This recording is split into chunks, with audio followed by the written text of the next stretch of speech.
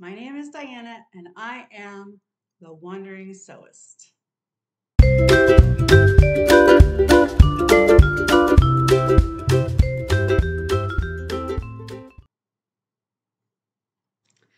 Welcome to my channel.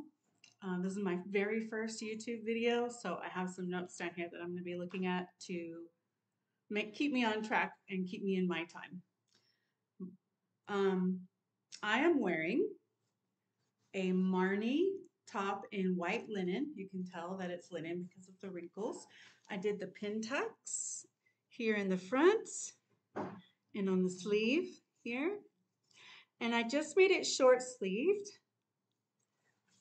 and use some binding around the bottom of the sleeves. And I am on the bottom, I am wearing um, Mountain View pull-on jeans that I made into shorts. And with all the pockets, they're wonderful. They're so, they're so comfortable. And they have the added benefit of that factor pulling me in. So um, I love my Mountain View jeans, wearing them as shorts. Why am I wearing a short sleeve shop, top and shorts? Well, because I live in Africa. Um, right now, our home is in uh, South Africa, the capital city, and uh, it's um, it's a long explanation. Obviously, I'm an American living in South Africa, and I'll explain more as we go along. But first, I wanted to talk to you about my current project. My current project is another Marnie top that I am currently making from double gauze. So this is what I have so far. It's this beautiful mauve colored double gauze. And I opted not to do the pin tucks for this one. I'm just making the plain bodice, but I wanted to do the ruffle collar. And I'm putting the shoulder ruffle in for that one. All I have left to do is um, the sleeves and the hem. And I haven't decided yet if I'm going to do short sleeves or three quarter lengths or long sleeves. Um, I figured I'd make that decision when I came to it. But I love the Marnie. It's it's comfortable, it's breezy, and the construction is incredible. The instructions with the pattern are wonderful. I I just I love the Marnie top. I can't rave about it enough. Um, so why am I called, why do I call myself the wandering sewist? Well, as I said before, I live in South Africa for now because my husband, um, my husband's work is here. And we've lived in several other countries before. We lived in Russia for two years, and we lived in Germany for two years, and now we've been living in South Africa for three years because my husband's job. Um, so since we're talking about Africa, I want to tell you a little bit about South Africa. So right now, South Africa is in the Southern Hemisphere. So we are just ending summer and going into autumn here.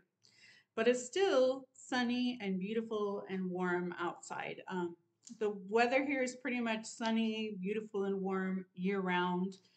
Um, in the summer, which is like December, January, February, it, it gets hot. And in the winter, which is like June, July, August, September, it's just warm. But it gets cold in the morning and the evening, but it's warm during the day. Blue skies, sunshine year round. So hence the short sleeves and the shorts because um, it's just too warm to bundle up in long things pretty much year round for me. So um, let's talk a little bit about the fabric that's available in Africa. So there's um, local uh, fabrics that the African people wear, and it's called shwe shwe. And I recently went to stock up on a bunch of shwe shwe because I like to make um, wallets and handbags out of shwe shwe. This is uh, some orange shwe shwe that I picked up. Orange is my favorite color. So I picked up some orange shwe shwe and made myself a necessary clutch wallet um, I can't remember who it's Emmaline bags. And this is the Kennedy bag from um, Sew Sweetness. I just took off some of the buckles and details that I, I didn't want because I didn't want it to look like a messenger bag. I wanted it to look like a handbag. So I kept some of the details. So I like to make handbags out of the shwe shwe because it's a really thick, good quality fabric. So I'm going to show you some that I picked up. So here we go. This one is blue with some orange detail. And you can see when it's it's a wax print. So when you get it, it's a very stiff fabric. So this one, orange and blue. I'm in love with orange and blue, orange and teal, all those combinations. This one is a red large scale print that would be great for a big bag. And then this one for a smaller bag. And then another large scale print, much brighter, wonderful colors with the red and the gold and the blue. Incredible. I love the bright colors available in the African prints. They're just so incredible. This is the, the next one I'm going to show you is the same print as this one, but in a green colorway. Green colorway with gold. Love it. And then I got some larger um, cuts. So each of these are two meters. And then these that I have here are six meter cuts. And they're, this is a giant flower print.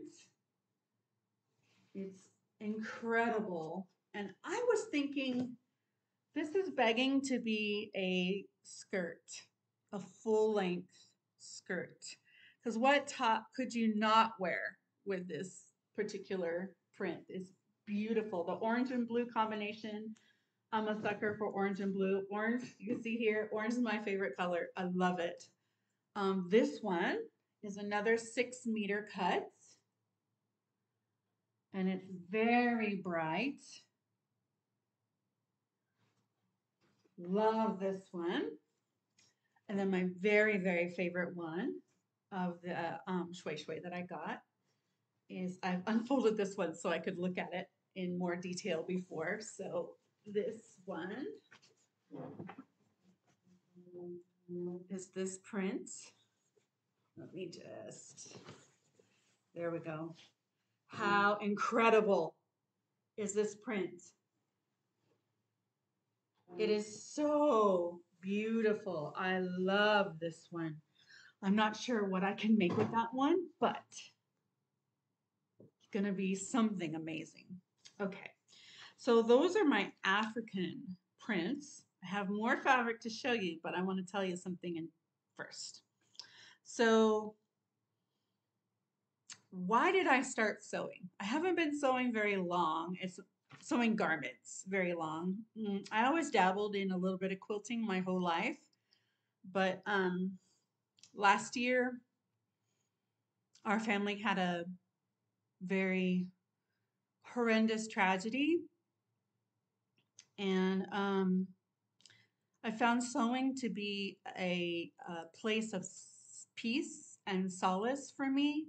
It was um, a place where I could forget about life and move into focusing on a creative outlet.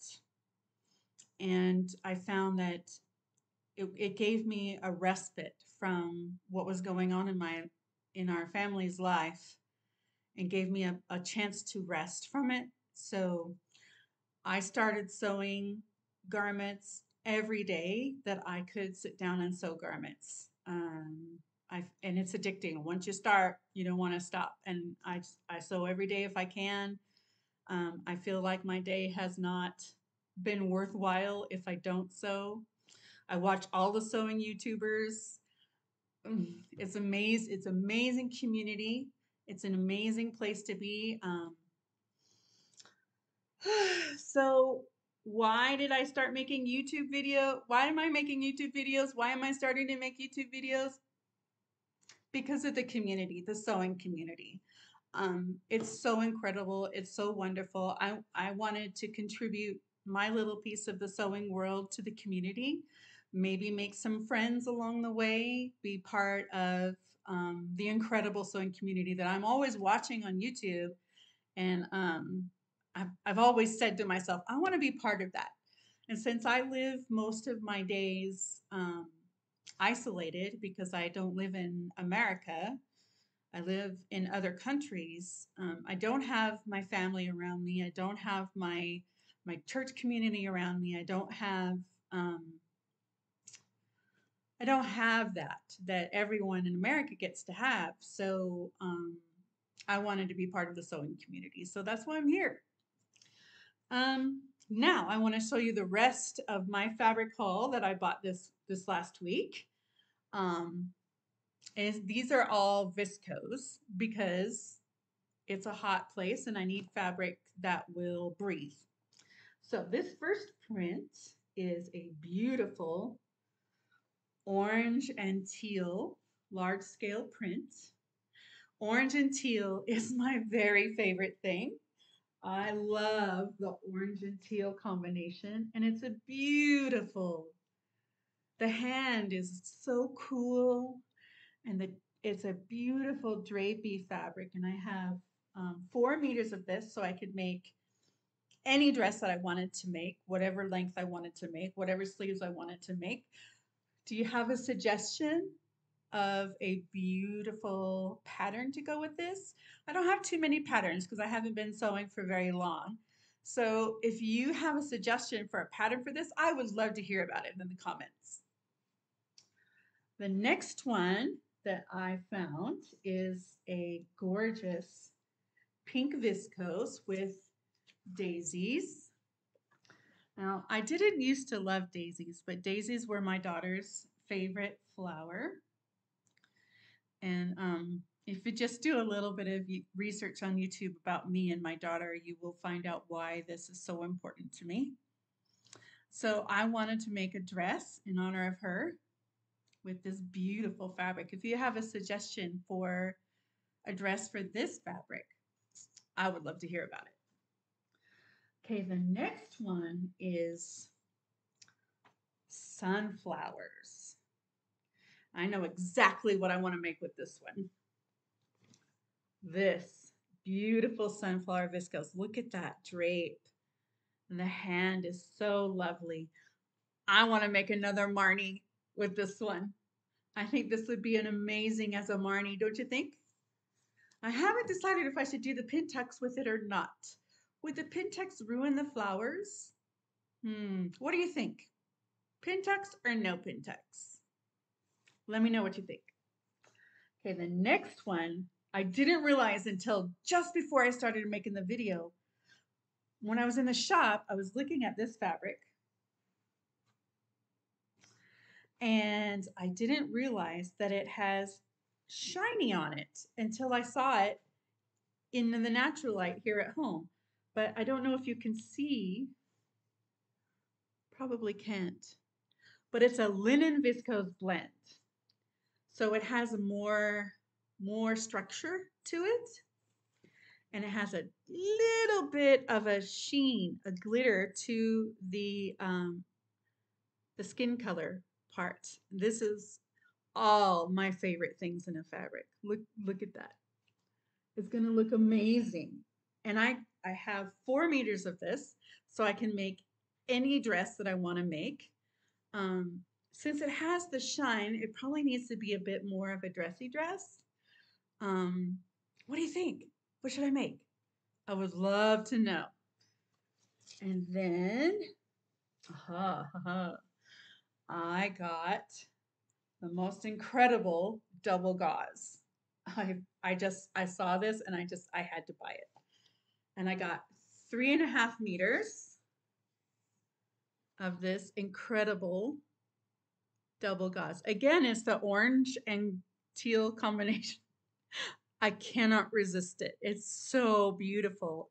and it's so cool, but it has so much cushiony body.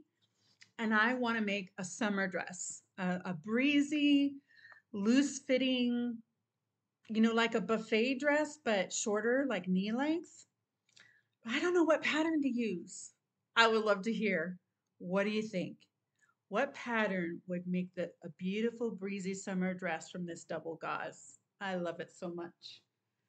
Okay, and then you know me, my favorite color is orange. I've told you this before. so I got an orange with white polka dots, little tiny ditzy white polka dots. I love this.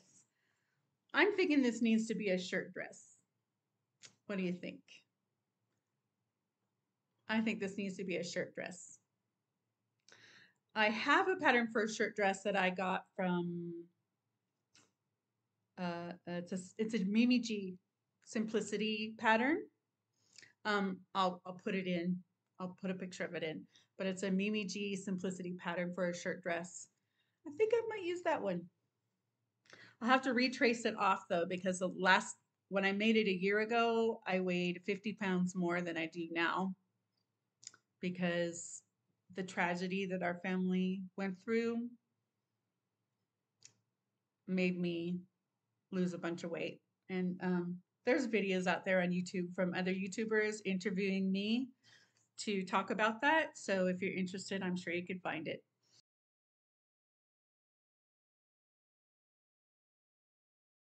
Um, the last, the last one that I got at the store is one that I want to create some drama. So I got five meters of this because it's directional and it's orange and black. And I thought I need a dress that will have drama because the print has drama. So I wanted a dress that would show off the print to its most, you know, with a big skirt and a, a like a fitted bodice and some statement sleeves. Um, this needs to be a dramaful dress because look at that. I'll do it the right way up. Isn't it gorgeous? Oh, I can't get over this one. I love it so much. Oh, I love all these fabrics. Um, isn't collecting fabric another hobby in addition to sewing the fabrics? I found that it is. So, um, yeah, since I'm such a beginner, you know, I've only been at uh, sewing garments for about a year. Um, I don't really, I'm not really good at matching the right pattern to the right fabric.